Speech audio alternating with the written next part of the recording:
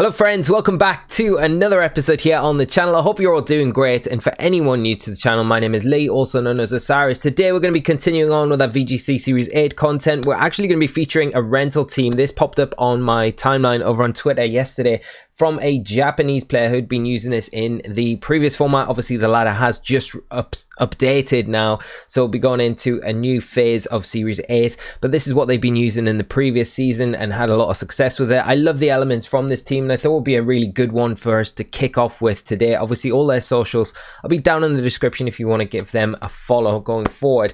Um, yeah, we've got the the Politoed Kingdra, really good dominant combination here. You're kind of tending to see Kingdra and Kyogre more often in this format, but Politoed provides that rain and the drizzle ability there, and nice options with the trapping ability of Gothitelle that we a, bit of a throwback from previous formats that we've had in, in later years. And then you've got Mienshao, which is just there to kind of support Taunt with the Fake Out, Close Combat, and the U-Turn to give a pivot, as well as the Rillaboom, which helps out, especially with the rain mode, benefits from the rain, and then Zacian going to be your uh, restricted Pokemon on this team. So we're featuring Zacian today. It's going to be really nice. Obviously, we featured Zamazenta in our previous episode. So we'll play a couple of games with the team. We'll talk through it. So here's the rental code for the team. And uh, without further ado, friends, hope you enjoyed today's episode. Leave your comments down below. Let me know what your thoughts are on this kind of build. It would be great to hear your opinions. And uh, without further ado, we'll get into our first match of the day. Okay, so up first today we have a team of Indeedee female, Alola Marowak, Cinderace, Kingdra, Togekiss, and Kyogre. So we've got a little bit of a rain off here. Uh, we do have ways to kind of help out uh, our rain matchup. Obviously, Rillaboom will help against things like Kyogre, but my opponents packed out their team with things that really help against uh, the Rillaboom, obviously the Togekiss, Cinderace, uh, the Alola Marowak as well, all do pretty well against uh, Rillaboom. So we have to kind of be a little bit careful around how we utilize in the team here. Um, I think a good way to potentially go forward is maybe go Kingdra up top. Kingdra is always going to be a good lead here because um, with the rain in the back potentially for ourselves, it could help us out a bunch. But it's it's what we bring to kind of.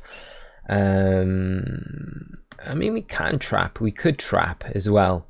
We could trap. There's not much speed control my opponent's team aside from airstreams. So if we can kind of keep up with the airstreams, that's, that's always very uh, very useful option. I think Politoed in the back, and then maybe we go. Uh, uh, do we go Politoed? Um, I don't know if I'm going to go Gothitelle actually. I think I might go Politoed, Rillaboom, and Zacian. I think that might be the best route for us because although my opponent might um, set the rain up for us. I think it's better, you know, the fact is that we've got the rain to support a Kingdra straight away. Um, And also, if they go Max Wyrmwind into Kingdra with their Kingdra, we've got a really good switch into Zacian. So it's just if we see Kyogre Kingdra from my opponent, it makes things a little bit more difficult for us. But we don't see that. We're going to see the uh, the Indeedee and the Cinderace here. So this is actually alright. We don't necessarily need to max here either because we got the rain up. We could just go for a potential muddy water because that then gets around the uh, the redirection. The problem would be is the Indeedee going uh, for an expanding force, which wouldn't be ideal. So one of the options we could potentially go for here would be um, go for that. Oh, we don't have muddy water. Okay, so that was one of the options that they didn't didn't want. Um, now, do we max an airstream?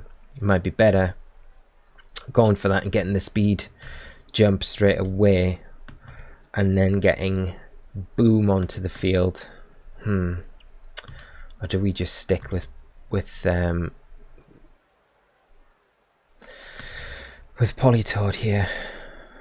It's just I don't really want to take an expanding force and whatever they uh yeah, I think especially if it's not G Max Cinderace, it might be a better idea to pull the rain into the back so at least if we see the Cinderace set the sun up, then we'd be able to uh, we'd be able to kind of overwrite that the next turn, but we're not going to be seeing that because the Kyogre makes its way into the field and it's going to eat an airstream. It makes it very difficult for my opponent now because obviously they, they do have the redirection, but we do have access to fake out and we put a lot of pressure onto that Kyogre straight off the bat with the Rillaboom switching, which is always very nice. And it's all about kind of keeping that pressure on my opponent here because obviously the mirror mirrors are always difficult um, and you want to try and just take a little step and edge forward in the match as soon as you can and try and keep a hold of that and kind of keep the momentum going. So it's all about the positioning of your Pokemon because already we can see potentially next turn,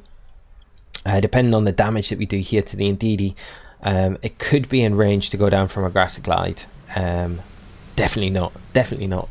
but with the redirection, we can stop that with, you know, fake out here the Kyogre is likely to switch out into something like Cinderace maybe the next turn, but it's also a very risky thing to do because if you do that, then um, obviously uh, there's always a chance that we could go for like a Max Wyrmwind or a Max Geyser here as well. Um,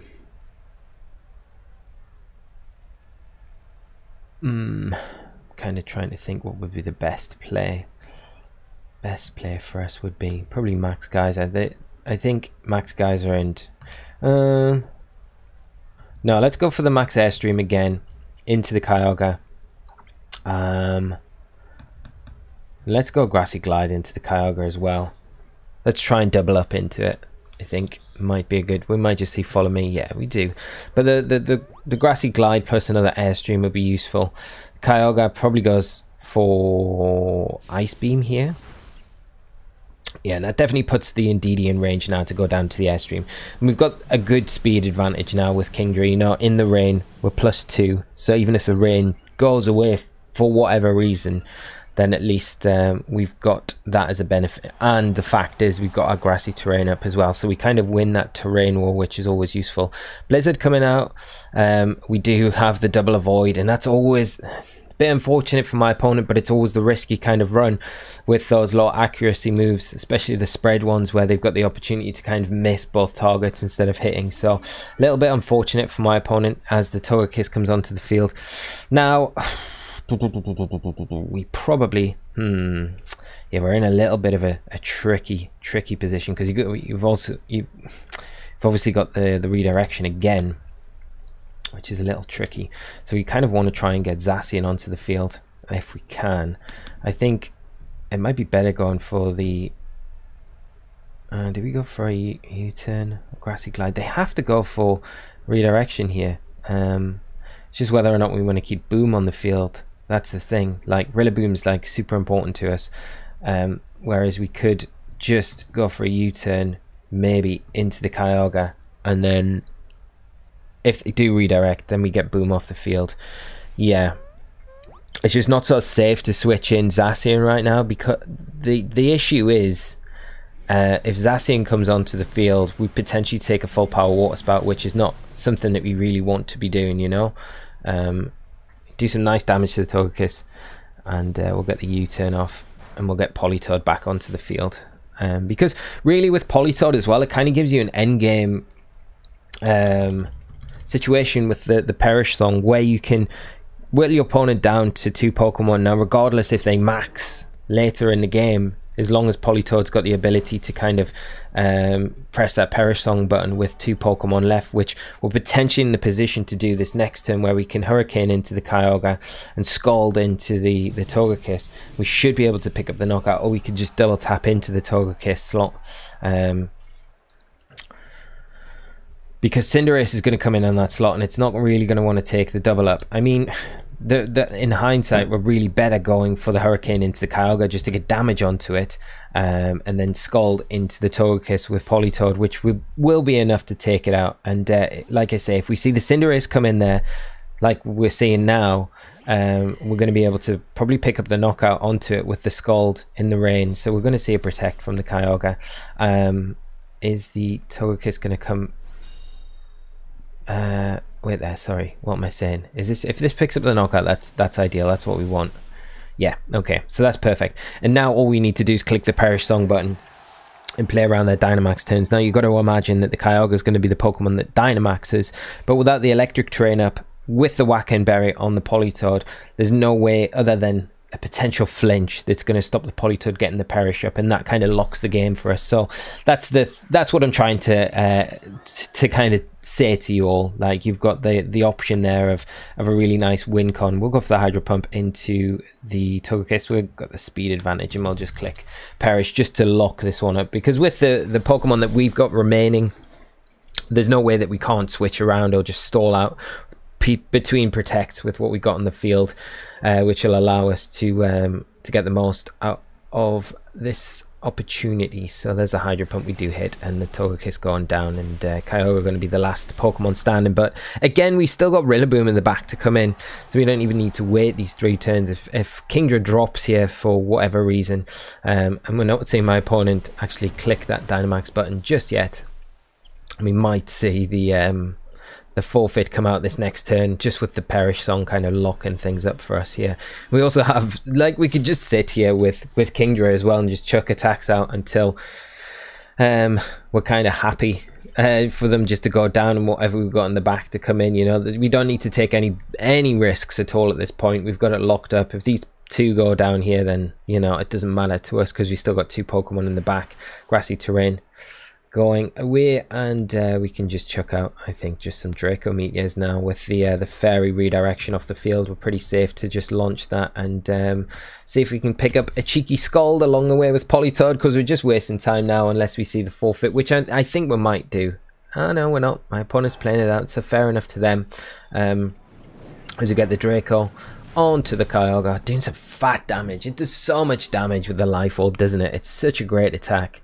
Uh, it really is. And um, we'll see the thunder coming out now but uh, it is going to just activate that Whack Berry that we do have on the Politoed obviously reducing the damage there which is always very useful especially in a format where you've got quite a lot of electric type users and uh, we don't have any redirection uh, like lightning rod or anything like that on the team which could kind of help with that and we do get the burn as well. So uh, everything that we're asking for in this game is uh, is kind of playing out which is great. So the Kyogre likely to go down this next turn. Will just help in hand and go for a Draco Meteor and it uh, it should be enough to um, get the get the win, get the W for us today. So which is always good, and I I do love helping hand on Politoed as well. It is uh, such a nice option.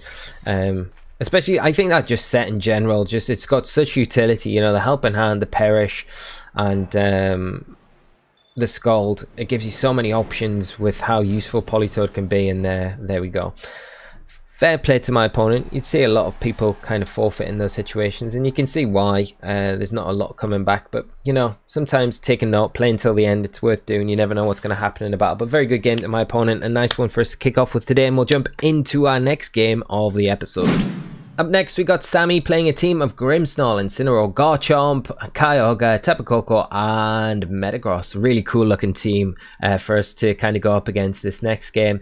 Uh, love seeing the Garchomp and the Metagross. Real throwbacks to previous formats and. Um, it's it's quite a nice looking team. You've got the Kyogre, which is going to be the kind of centerpiece of the team with uh, the the fake out support from the Incineroar, Intimidate there, the screen support from the Grimmsnarl, um, potentially I'd say maybe some speed control from the Grimmsnarl. It does get Scary Face, it does get Thunder Wave, so their options there. The Tapu Koko, again, going to be something that can threaten us, obviously with its electric terrain as well. Um, going to have Electro Web. A lot of kind of utility moves to support and be threatening at the same time, so not something to kind of underestimate. Metagross, what are we going to see? Like Bulldoze from potentially something like the Garchomp. Um, I guess just Tapu Koko get Brutal Swing? I wouldn't have thought so, but maybe. Um, there is the option there. Metagross going to be something that we need to kind of watch out for, definitely in this match. Uh, so, what are we going to do? I mean, we could lead Gothitelle. It gives us a nice opportunity. Problem is, leading Goth is... I mean, we could go down a Perish Trap route here. The, the thing that I would say is we're probably going to see Tapu Koko come out, you know, uh, from my opponent. But we could go Politoed, Kingdra, and I think Zacian.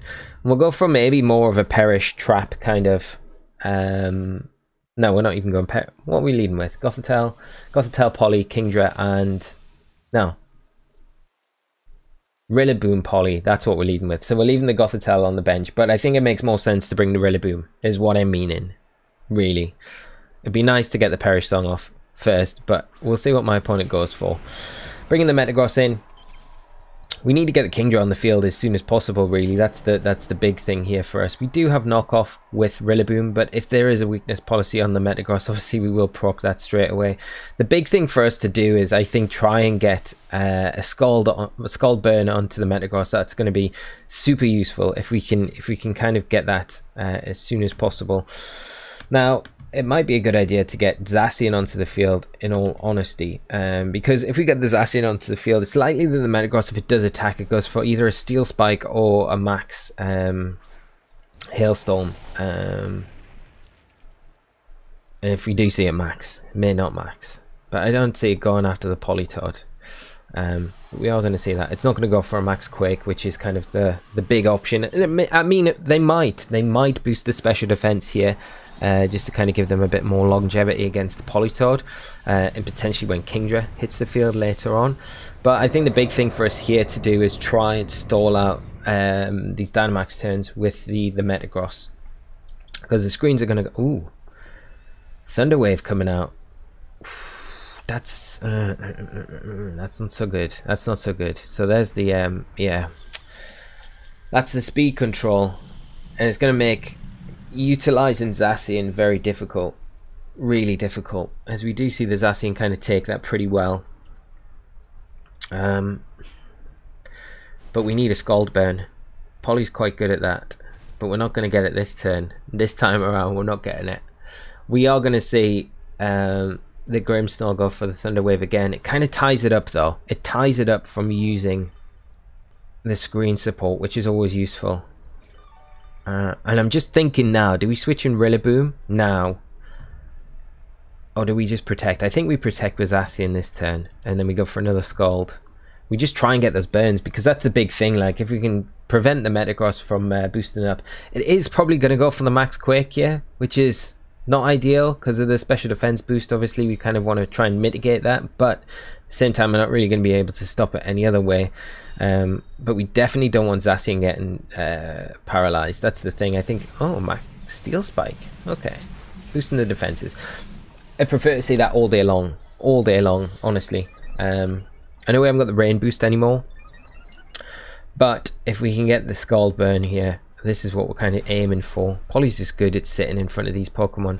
We don't get it again, so you know, out of three, you should get it. 30% chance to burn. Not guaranteed, of course, but you should be able to get it. Um, now, Zacian. Do we want you paralyzed? I don't think so. I think we need Zacian kind of fighting fit for, for later in this game. The other option here is, do we start going after the Grimmsnarl? I don't think we change our minds right now, but from the, the, the get-go, if we'd start scalding there, might have been an option, you know. Um, I'm hoping that we're going to see the Max Quake come out now from the Metagross, and that we'll pull in um, pulling Rilla. So let's see, because we are going to get paralyzed, unfortunately. But uh, it's better Rillaboom getting paralyzed than um, than Zacian. We're going to see Reflect. Okay, better than that T Wave.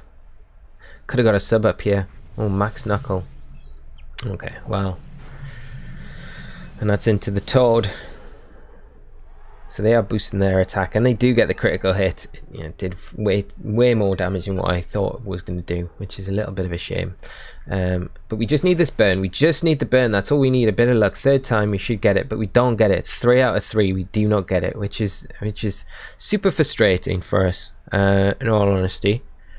Um,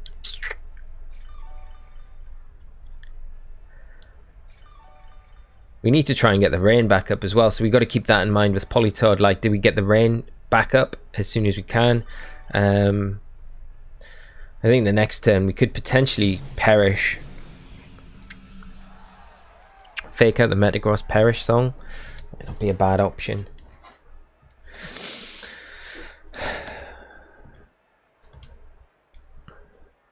because then it means my opponent has to start switching around at some point you know? They can't really just leave things on the field. And we're going to be switching these two pokemon out for sure anyway. Metagross just going for that protect which is fine. So i feel like the metagross against this team is is pretty difficult because it makes it difficult to bring kingdra when you've got something like um, when you've got Grimmsnarl sitting in front of you. Uh, but we do get the perish song off which is useful and um, like I say, we can kind of switch things around going forward. I think we U-turn out onto the Metagross. Just get to mm, maybe U-turn out onto the Grimmsnarl as well. Could be an option. Um, we just need to get damage onto the Grimmsnarl, in all honesty. And the grassy terrain going to actually kind of disappear soon. So Or is this the right time to switch Politoed off the field? Potentially. I mean, a Grassy Glide and a Scald and a Grassy Glide and a Scald should get the Grimmsnarl, you know? So I think we'll go for that this turn. Because it's not likely that Rillaboom goes down to double attacks. Well, you said that now. Jeez. Okay, well, we're paralyzed. It's not so good. And an Ice Punch coming out. Okay. Scald. Do they have Spirit Break then? Because that would be the thing that would worry me. I can't believe we've got, like, literally no... Like, literally no... Um, no burns. Four Scalds, no burns. That's bad RNG for you right there. They may not have Spirit Break. They've got Reflect, they've probably got Light Screen, they've got Sucker Punch, and they've got T-Wave. Um, the board position that we kind of need to get is Politoed. Well, we need we need Kingdra next to Rillaboom. That's what we need. Right, I'm going to pull in Zacian there, and I'm going to pull in Kingdra here. And then we can get Politoed onto the field. Um, um, protect Kingdra, get Rillaboom on, and then nuke the uh, the the Grimmsnarl. But the thing is, like as well, you've got to think like uh, we could utilize our Perish Song turns where my opponent either is forced to switch out on that final turn, which doesn't allow them to get the T wave, or they stay in, and we get the fake out and a big attack into them. Um, but we're only going to get one opportunity to do that. It's just avoiding the, the thunder waves. It's such an overlooked like utility, you know, but it's such a really good utility at the same time. Okay, Tapu Koko coming in, which is all right overwrite our terrain, but we are pulling the double switch. So it's likely we only take maybe an Ice Punch into Zacian here, which is actually not too bad. And it does give us the opportunity to um, avoid any Thunder Wave kind of shenanigans as well, because I think we pull Zacian out the next turn. Um, get Politoed onto the field, Max Geyser into the Koko. Yeah, Bullet Punch. I mean, we take that pretty comfortably. Metagross has to switch out this next turn as well, which is the big thing. So get Polly onto the field and we'll go for a Max Geyser into Koko. And we'll see if we can start kind of cutting through my opponent's team now because that's the big thing. I'd imagine Grimmsnarl to come back onto the field where the Metagross is. We could have potentially stayed in like we are now uh, and went for Behemoth Blade into into that Metagross slot because they've got to switch it out. I don't see them sticking in. Yeah, they're not going to stick around with it. it doesn't make sense. Grimmsnarl going to come back in. Yeah. So it means we're probably going to have to protect one turn if we want to avoid the um, the the thunder wave. Oh, it's really annoying. Grimmsnarl's just one of those Pokemon. It's like you need like double fake out support to get around it, but then it complicates things with needing the rain up and stuff like that. It's uh, it's tricky. Well, we've got the rain up now. We've got the Max Geyser coming out into the Koko. She does take it down. Yep. Like I say, this next turn's where it gets a bit tricky because I mean they don't. If they don't have Spirit Break, we could just suck up the fact that. Um, they're going to T-Wave us and just ignore that anyway and just help in hand attack into Grimmsnarl to remove it from the field and take the T-Wave. It's just risky because, hmm, yeah, I think we we need Rillaboom as well. We need Rillaboom. So we might be better just doing this because then we've got Metagross to come in in the back. Kingdra should still outspeed the majority of stuff. Yeah, let's go Geyser into Grimmsnarl. It's just whether or not they got Ah, oh, we don't get the helping hand boost. We really needed the helping hand boost there. The paralysis really biting us. She's not good because there's the T wave coming out and she's not ideal. Just gonna hope that the the geyser is enough to pick up the Grimmsnarl without the helping hand boost. You've got to hope it is. it's not. Oh, it's not. Oh, it's not. It's not. It's not. It's so frustrating. Ah. Really is frustrating. Really frustrating. Um, mm, mm, mm, okay. Let's try and get a Perish song up if we can, and let's go for a max airstream into Grimmsnarl. At least then, as long as the rain's on the field, we'll get the jump on the Kyogre, which is always going to be useful. Get the jump on the Metagross as well, just to ensure that um, ah, we just got that helping hand boost, this is where the, the T-wave paralysis comes in. Super frustrating, and it's something that you just don't see many players really taking advantage of. I know there's a lot in the format that you can't um, Thunderwave because of obviously resistances, Lightning Rod, and other things. But I mean, one of the key things we, you you think about uh, your opponent really utilizing um, is the fact that uh, that they've got the speed advantage most of the time. You know, Max Airstream is one of the most kind of dominant uh, max moves because of the advantage it gives you over your opponent. So T-Wave being such a free move to just throw out and be so disruptive, if was, as we've seen in this match, it's um, makes it difficult, doesn't it, to really kind of uh, get the most out of your team when you've got that kind of thorn stopping you most of the time. Um, so Metagross going to come in. I think Rillaboom coming in now. Grassy Glide. They've got Zacian to kind of fall back on. Just need to remove the uh, the Metagross from the field. That's the big thing for us. So if we can hit a Grassy Glide into the Kyogre, it pretty much takes it out of the game, really. You know, um, a Hydro Pump going to be enough to take down the Metagross as well. So that's fine. They do have Bullet Punch, of course. But I don't know if a bullet punch is going to be enough to get the Rillaboom from from the range that we're in. And we also have Fake Out as well, so that's something else that we've got. Bullet Punch might be enough, you know? Bullet Punch might be enough to get to get it. We'll go for a Grassy Glide.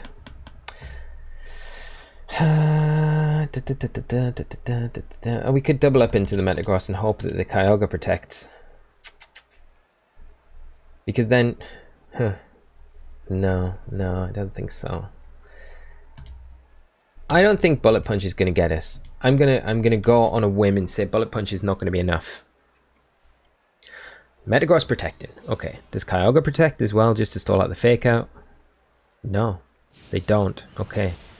Not the best idea uh, because now that just locks it up for us. I think when you've got access to Bullet Punch, you've got to go for it there. You've got to go for it there, even if the fake out comes out, because it's if we don't if we don't go for Grassy Glide and fake out, it means your Kyogre's safe. Um, but if we click the Grassy Glide button, you've got to go for the Bullet Punch and hope that it's enough to take us up from this range. Like I say, I think we might have just hung on, but who knows?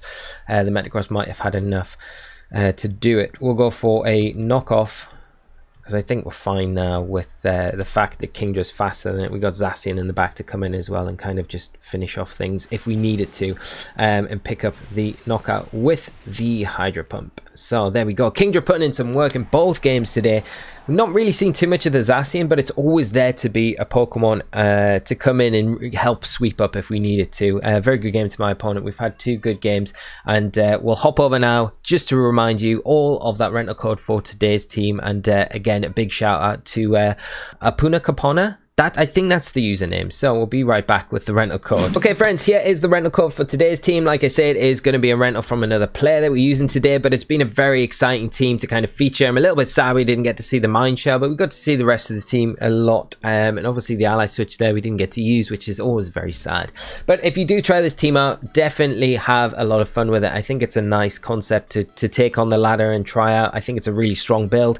And again, big shout out to um, uh, Apuna Kopuna Apuna Kapuna. I don't know if I'm pronouncing that right. Probably not. But uh, anyway, their links, their social handles are down in the description if you want to check them out and um, have fun with the team. We'll be back later in the week. But just to reiterate, if you've got rental teams you'd like to feature, see featured on the channel, let me know down in the comment section. Uh, send your rental codes over and I will feature them as we go through the next couple of weeks. We're going to be jumping back onto Twitch and streaming over on YouTube. So uh, keep an eye out for that. We'll be streaming over on Twitch tomorrow night, which will be a lot of fun. So come and join us and we'll be streaming later in the week here on YouTube. So keep an eye out for that, friends. Have a great rest of your day, whatever you're up to. And uh, thank you so much for tuning in as always. Hope you've enjoyed today's episode. Until next time, see you later. Bye bye.